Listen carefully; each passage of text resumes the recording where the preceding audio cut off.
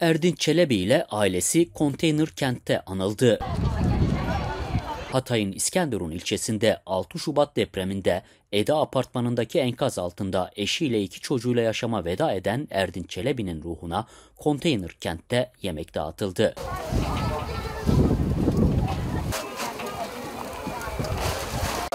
Çelebi ailesi depremde kaybettikleri Erdinç Çelebi, eşi Güngör ile çocukları Halil İbrahim ve Çağla Çelebi için İste kampüsü içerisinde bulunan Arkas Konteyner kentte anma programı gerçekleştirdi. Programda Kur'an-ı Kerim ve dualar okundu. Ya Erhamer Rahimin, Ya Erhamer Rahimin, Ya Erhamer Rahimin.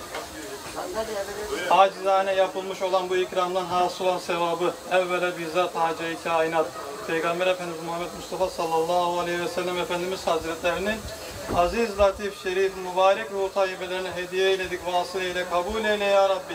Geçen sene üzerinden bir sene geçmiş olan depremde hayatını kaybetmiş olan bütün şehitlerimizin ruhlarına ayrı ayrı hediye edip vasıl eyle, kabul eyle ya Rabbi. Merhum Erçin Çelebi, Güngör Çelebi, Halil İbra- İbrahim Halil Çelebi, Çağla Çelebi, bilhassa bu geçmişlerimizin de ruhlarına hediye eyledik, vasıl eyle, kabul eyle ya Rabbi.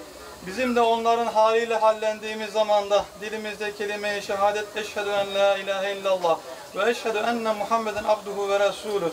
Ya Rabbi biz düzelmek istiyoruz, biz akıllandık, bize ağır imtihanlar bir daha verme ya Rabbi. Daha sonra konteyner kentte barınan vatandaşlara döner ikramında bulunuldu. Anma programına Cumhuriyet Halk Partisi İskenderun Belediye Başkan Adayı Avukat Mehmet Dudoğlu, CHP ilçe teşkilatı ve yöneticileri de katıldı.